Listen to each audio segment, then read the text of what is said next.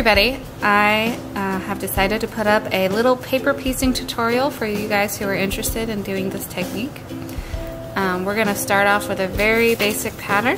It's a, uh, a three piece that is going to go into a, a, star. There's a, it's called a couple different names. Um, Judy Star is my favorite, of course, as you can see. And so we'll be making four of these pieces uh, to go into the star. But today I'm just going to show you how to navigate using um, your numbers and uh, how to properly match up for it. So as you can see, paper piecing has numbers on it. And um, one, two, and three, and that's the order we're going to lay down our fabric. So I'm going to start by flipping this over to the wrong side because we are going to be sewing on the other side. And if you have paper piecing paper available to you, I highly recommend using it. It tears away easier than normal paper does. So hopefully you can see this. I've got some light behind it. I can see the lines for piece number one.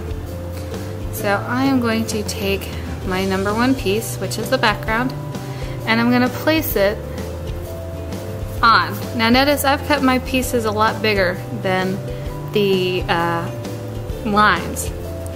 And that's because that's gonna give me some wiggle room. So we're gonna lay that down just like that, right side down. If you're using a regular uh, fabric, I'm using batik, so it's not too big of a deal. The next spot we have is number two, and I'm going to lay that down. And I'm using this blue as my piece number two. And I'm going to go to the line that we're going to sew on. So the line that is shared between one and two, which is right here. So that's going to be my flip point. Okay. So I'm going to take my blue piece and I'm going to put it down so it goes over the line about a quarter of an inch. Doesn't have to be precise. Here's where it matters. We're gonna kind of hold my finger where that line is and make sure it covers all of the solid lines that are heading. So we can, can see, you can see the solid lines here, but we wanna make sure it's covering all this number two piece, okay? This is why we cut a lot bigger.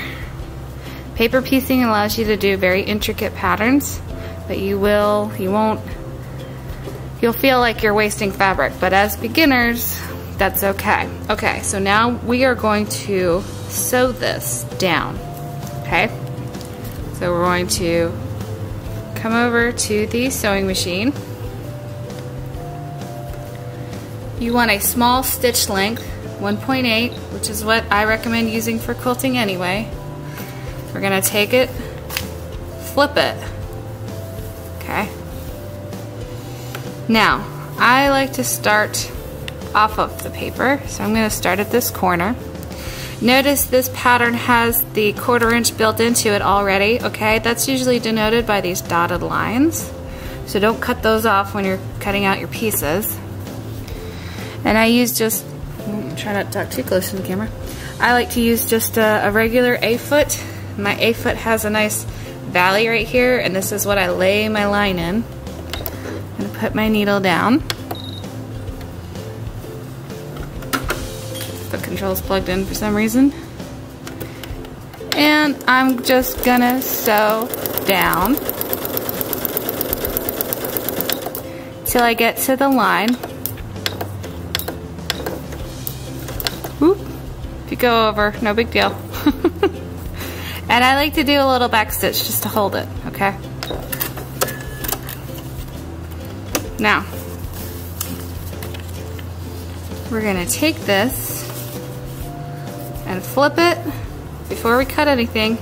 Make sure you're covering all of that two space. And then we're gonna go over finger press and cut.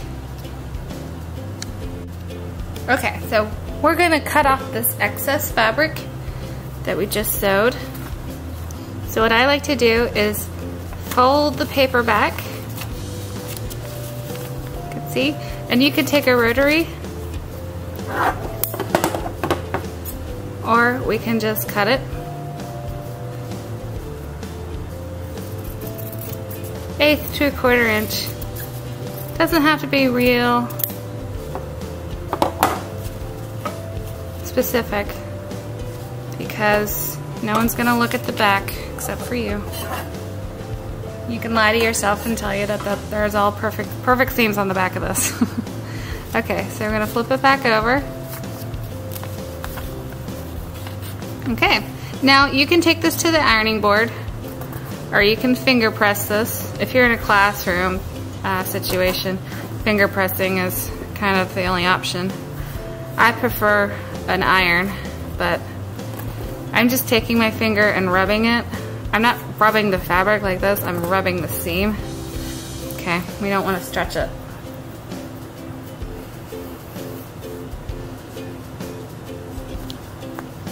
And I don't have any of my green pieces I'm supposed to have. Oh no, wait, I'm supposed to have purple. Okay. So this is color number three. Wild, right? And it's gonna go on this big piece, okay? So I'm going to flip over my piece and you can tell from the seam and uh, flipping down where this line is and we want it to go down on that line. Now remember when you're putting this down you want to go by the flip line. So if you go by, you know, we're so used to having everything square. If we square it, then it's not going to flip correctly. Forget about the square. Think about this line that's right here, okay? So when I put this down,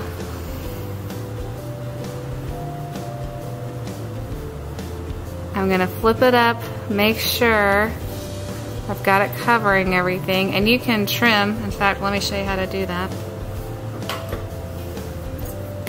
You can take your scissors. Just be careful. You don't trim it too much. Okay. So now we have a kind of a line to go through here. So we're going to put this down. Make sure it's covering both the ends. This is why I cut these pieces nice and big for beginners because there's no reason why we should make this. We're just learning the technique. We're not, you know, trying to make it super difficult. Okay. Alright, everything looks good. You can pin this stuff into place. You can pin through the paper, that's fine. So we're going to take this over to the uh, sewing machine. You can pin if you have if you think you're having a lot of problem with stuff sliding around. And when you get into the more intricate pieces, um, you will want to notice I, I accidentally cut my my piece too small, but I know there's going to be a seam allowance there, so. Okay.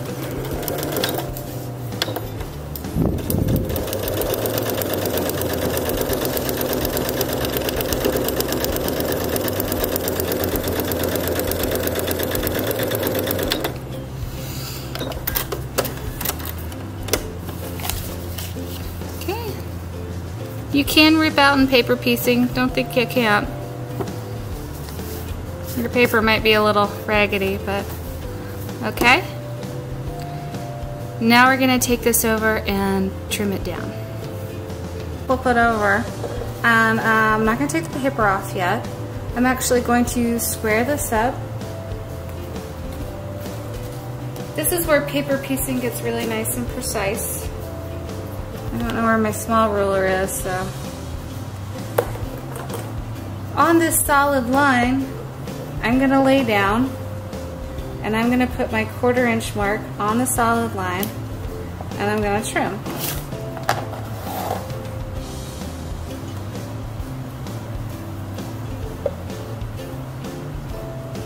And I'm gonna do it on all four. I'm not gonna trim on the dotted line because sometimes the printer can get a little skewed and we don't get the proper uh, seam allowance that we're supposed to have. So that's why I like to use my own methods. Now remember this one, I, this side I trimmed off too much, but I still have a nice solid line, so I can still put in a quarter inch seam allowance. Okay.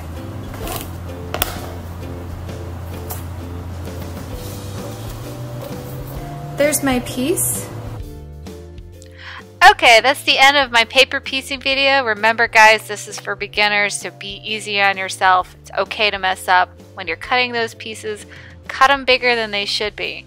And definitely check out how to cut shapes for paper piecing. That's coming up next. Uh, if you like the videos, please check out my other videos. And if you like me, please subscribe to me. And I will see you guys for the next lesson.